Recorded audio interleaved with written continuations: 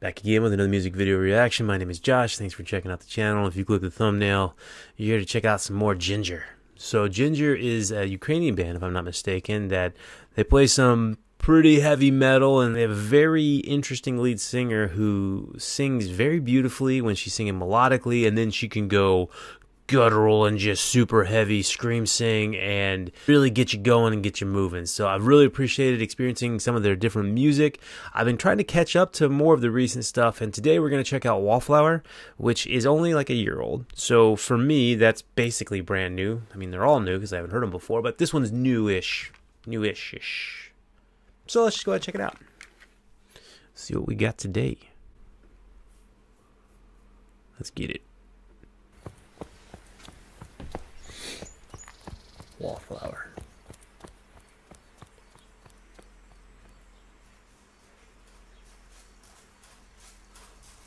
Black and white, a little bit of color.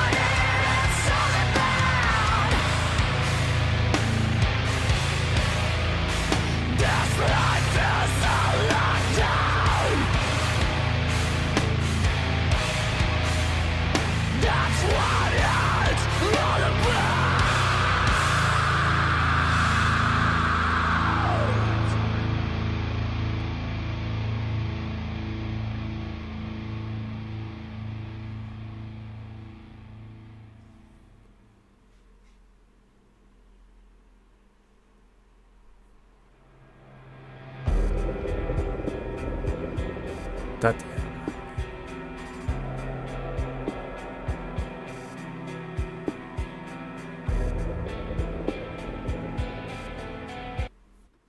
All right, so that was a really cool video and song.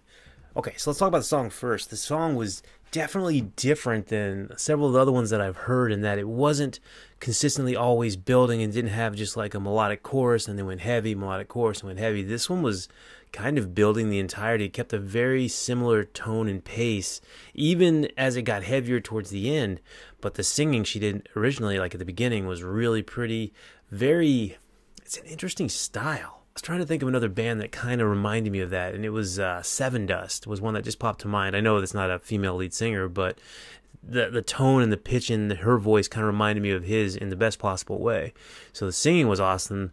The video though was crazy. Okay, so they've, they've been putting a good bit of effort into these videos, and this one was very it was well shot. It looked really good, but I loved all of the different types of messaging that's here in the context of what's supposed to be happening. I'm not sure that I understand it completely, but it definitely seems like there's the the yin and the yang, or the dark and the light side of maybe her and how she deals with things. Man, I dug it. You know, I mean, didn't expect the guns to come out, but I kind of did something like that. But then, you know, she put them away and utilized the art, or I'm not exactly sure of the context, but I'm gonna have to think about it a little bit more. Let me know in the comment section if you can help me know what the song itself and the video specifically are kind of about because I really dug it. It was really cool looking.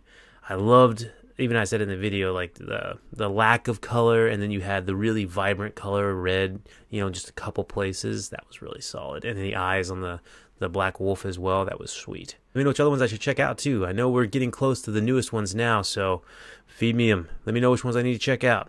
Don't forget, like, share, subscribe. Hit that subscribe button if you would. That'd be fantastic. And as always, you're awesome. Peace out.